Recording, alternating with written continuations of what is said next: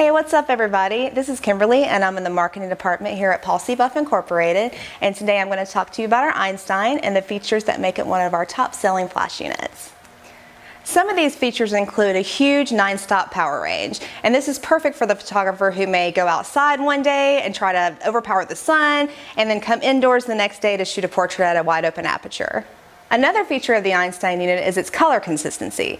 Many flash units on the market, when you reduce the output from full power to the lowest output, will shift about 400 degrees Kelvin.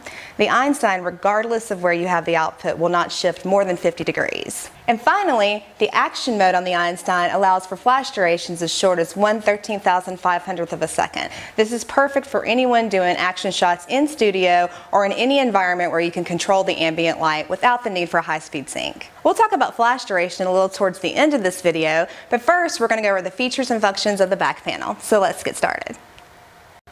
And as with all of our flash units, the first thing you need to do is remove the shipping cap. The shipping cap is not heat resistant, so if you leave it installed while the unit's turned on, it can melt. To do this, all you need to do is rotate either quick release lever on the side of the faceplate, and that will release the shipping cap. Under the shipping cover on the faceplate, you'll notice four metal holding fingers. These fingers, as you move the quick release levers, will contract and expand, and this is how you mount softboxes and reflectors to the front faceplate of the Einstein. You'll also notice that there is a glass diffusion dome that's held onto the faceplate by four pliable metal tabs.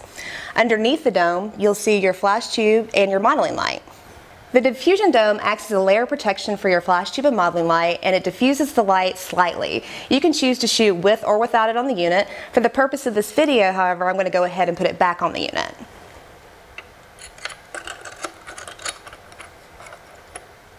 And now we can go over the back panel.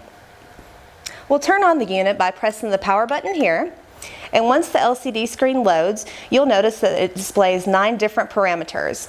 The function button allows you to toggle between these parameters, while the adjust buttons will allow you to change the settings within that parameter. The screen defaults to the flash adjustment parameter here, which will display your watt seconds. If I use the adjust button, I can adjust those settings in a tenth of a stop, or if I hold and press, I can adjust in larger increments. Now we'll use the function button to highlight the modeling light parameter. The modeling light parameter displays your modeling light in watts and can be adjusted the exact same way that the flash output is adjusted, moving in tenth stops, or if you hold and press, larger increments.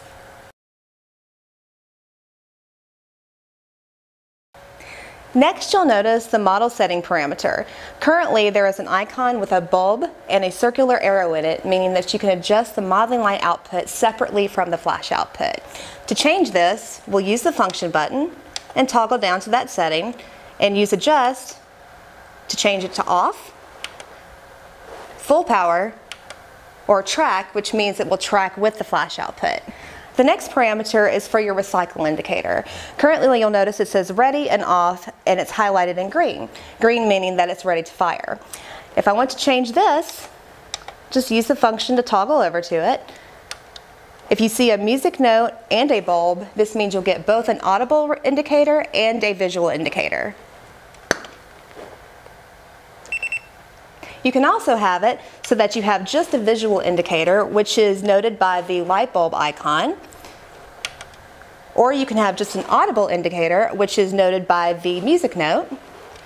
Or you can turn it off altogether.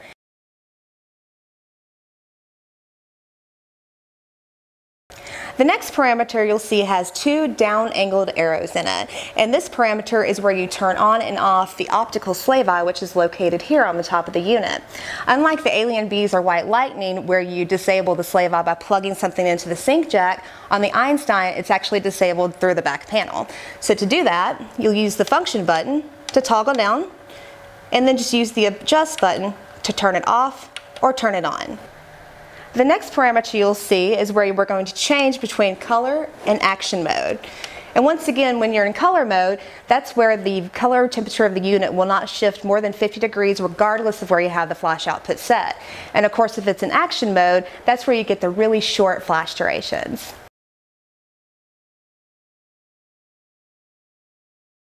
The final two parameters located here are for when you're using our CyberSync wireless system. Unlike the Alien Bees and White Lightning where you plug in a remote to the sync jack on the back, the Einstein actually has a transceiver receptacle located here on the top. And this is where our CyberSync transceiver will plug in.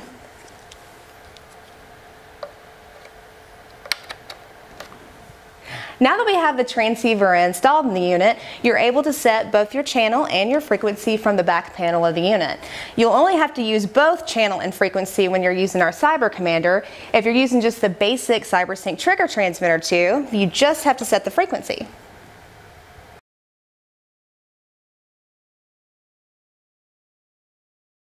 As mentioned earlier, we're going to briefly discuss flash duration. Flash duration and high-speed sync are not the same thing. Basically, the easiest way to describe flash duration is even though your flash looks like it goes on and off really fast, there's actually a burn-off time to that. And that is what flash duration is, and it's also really important for stopping action. In an upcoming Buff Basics video, we're going to show you how to utilize flash duration to stop action, as well as some alternatives to get around high-speed sync. I hope you found this video helpful, but if you have any additional questions, please feel free to call our customer service at 1-800-443-5542. They're available Monday through Friday from 9 a.m. to 5 p.m. Central Time. You can also shoot an email at info at paulcbuff.com. And if you'd like to follow us on social media, be sure to check out the links below. And if you want to see more videos like this, be sure to hit subscribe. Thanks for watching. Bye.